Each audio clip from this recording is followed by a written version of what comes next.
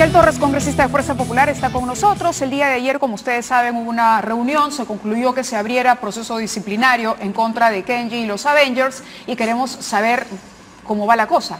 Miguel Torres está con nosotros, bienvenido, gracias por acompañarnos. Gracias, Mabel. Estupenda la, noticia del brazo. Sí, ya estamos recuperándonos. No, pero todavía hay que seguir con la terapia, me Con terapia para llegar a, a bicicletear nuevamente. Perfecto. Eso es una buena noticia para iniciar el año. El problema viene por el lado del partido.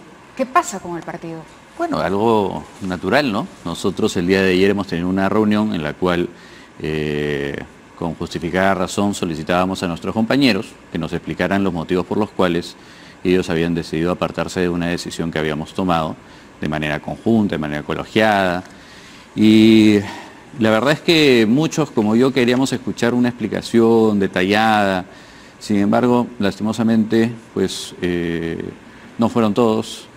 Eh, los que fueron... No, Kenji no podía ir porque estaba suspendido dentro de la sanción que había recibido en la, anterior oportunidad.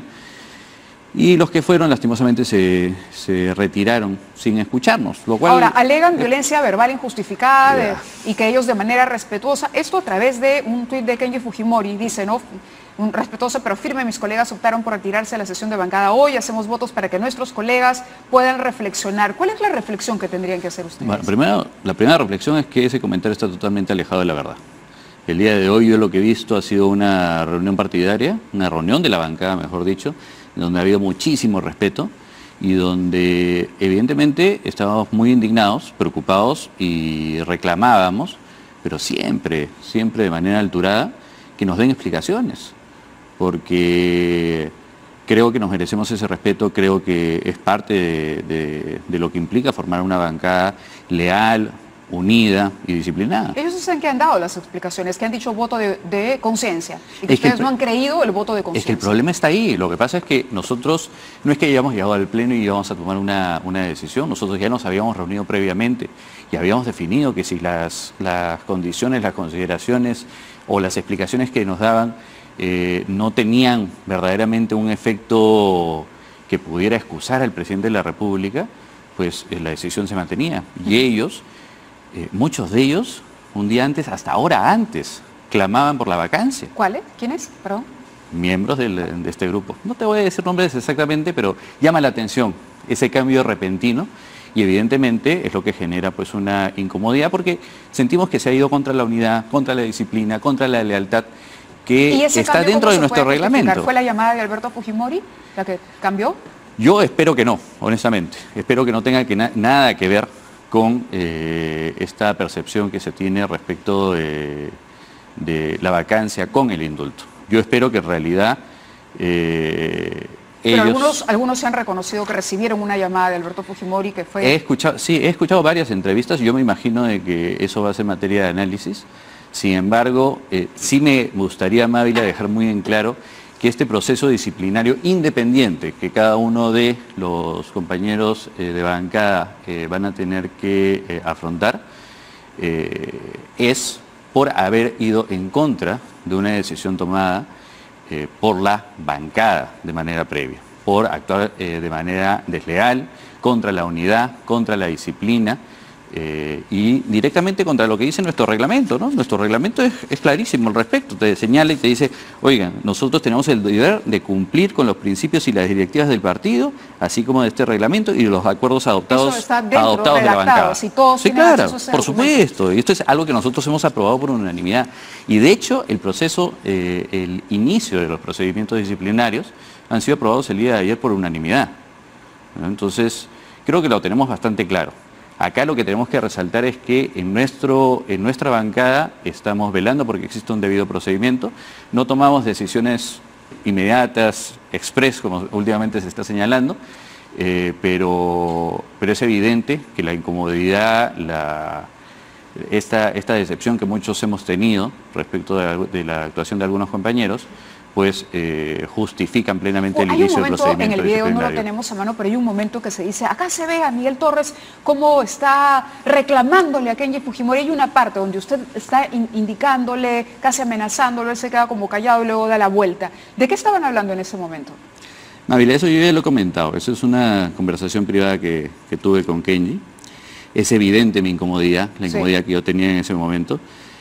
No te puedo decir exactamente lo que, lo que le comenté, pero lo que sí puedo compartir contigo es que eh, yo creo que actué de manera adecuada.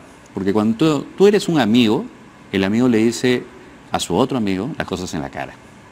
No te escondes o simplemente no te dedicas, como comúnmente se dice, a franelearlo. Yo sí me considero amigo de Kenji Fujimori y por esa amistad es que me doy la licencia de ir, como a todos mis amigos, a decirle las cosas en la cara. Yo en ese momento estaba muy incómodo, estaba muy fastidiado por lo que estaba sucediendo. ¿Y antes que congresista estaba siendo amigo? Yo creo que una cosa no limita o excluye a la otra. Entonces eh, le dije las cosas que yo pensaba en ese momento.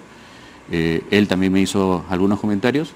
Y bueno, y será una conversación que se mantendrá en privado, pero eh, que yo espero que él cobije de manera sincera, como un recuerdo de alguien que fue como amigo a decirle las cosas tal y como son. La congresista Leila Chihuán ha publicado probablemente el tuit más agresivo, más indignado de, todos los que ha publicado algún integrante de Fuerza Popular. Ella ha dicho incomprensión, violencia verbal. He sido la primera en hablar y nos aseguramos que no existiera nada de eso. Violencia verbal es que te diga en este momento que estás hablando cojudeces, no te pases, tampoco, tampoco. Le ha dicho Leila Chihuán a Kenji Fujimori. Después de una cosa así, después de que el señor Becerril dice que Alberto Fujimori está preocupándose por su libertad y favoreciendo la corrupción, ¿se puede volver a reconciliar Fuerza Popular? ¿O estamos aquí ante una división que simplemente va a tener como consecuencia dos subbancadas dentro del partido? Vamos primero por partes. Las reacciones que ha tenido Héctor en su momento, de hecho él hace, el día de ayer me parece ha salido a, reconocer que, que, fue un momento de tensión su comentario y que, y que se rectificaba. El tuit de Leila eh, Mávila la comprendo al 100%. Leila fue la primera persona en hablar. Leila compartió con nosotros cerca de 15 minutos reflexiones, experiencias propias, muy privadas. Y la verdad es que me llenó de orgullo escucharla, porque ella los invitaba a la reflexión. Y había sido sumamente atenta con ellos. Entonces cuando Leila lee lo que pone eh, Kenji, que ni siquiera había estado en la reunión, que, o sea, no podría haber dado fe. Pero alguien lo llamó y le dijo, oye, mira, nos estamos retirando por bueno, Lo, lo mínimo que yo esperaría es que contraste esa, esa versión con otras personas. O sea, vamos. Leila es una excelente compañera.